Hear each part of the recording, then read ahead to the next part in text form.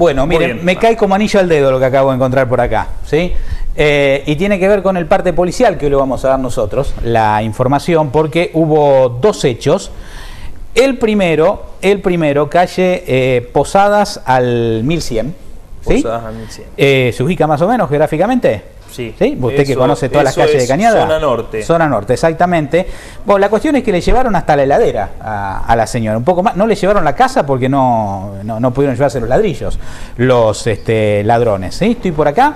Eh, un hombre de 60 años, en realidad, eh, manifestó que se hizo presente cuando llegó a la Ahí casa. vemos imágenes ya. Exactamente. Y que le faltaban eh, varios elementos, como dábamos cuenta, y este, bueno, entre otras cosas, la heladera. ¿eh? Eh, hecho ocurrido, como decíamos, en las últimas horas y tiene que ver con el, parte policial que emana desde la unidad regional número 10. Posadas al 1100, el típico escruche, en ausencia de- del propietario. Como se imaginarán, esto no se carga en una bicicleta. ¿eh? Está investigando Fiscalía Regional, violentaron una de las ventanas y cargaron una heladera, una cocina y una cortadora de césped. Eh, Diferentes elementos. Diferentes elementos, exactamente. El otro hecho, y a esto me refiero, que me cae como anillo al dedo, eh, tiene que ver con calle Chacabuco al 700. Esto fue en la noche del martes. ¿sí? Sonó la alarma. Ahí vemos imágenes también Exacto. de la zona, la casa de Chacabuco al 700. Tal cual. Bueno, sonó la alarma, el hombre eh, que vive por allí alertó a la policía que llegó rápidamente.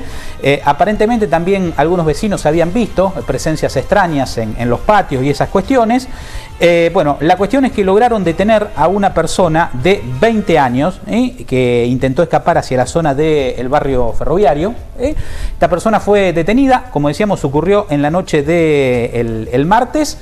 Y a las 8 horas, pese a tener eh, otras causas u otros, eh, aparentemente un conocido de- del ámbito Delictivo. delictivo eh, por la policía, la fiscal Tulián ordenó la libertad tipo este, 8 de la mañana, es decir, a las 8 horas, pasó más o menos la noche en la comisaría y después fue liberado por orden de la fiscal Tulián, este hombre de 20 años, pero sí, No, no tendría los elementos suficientes como para dejarlo detenido. será A criterio de la fiscal. de la digo. fiscal, exactamente. Pero claro, como había sonado la alarma, este, una alarma con cerco perimetral, llegó la policía, descubrió a esta persona, porque además otros vecinos también alertaron que había caras sospechosas.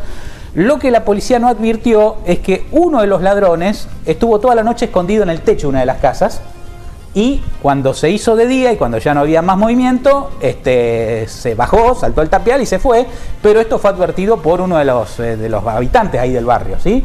Que dijo, mirá que hace un ratito vi saltar por el tapial a, a una persona que estaba escapándose. ¿sí? O sea que eh, la policía se fue después de haber tenido este sujeto y no advirtió que había Quedó- quedado, quedaba un cómplice. que había quedado un cómplice, exactamente, cómplice. ahí escondidito, evitando que la alarma volviera a, a sonar. ¿sí? Esto ocurrió, como decíamos, calle Chacabuco al 700.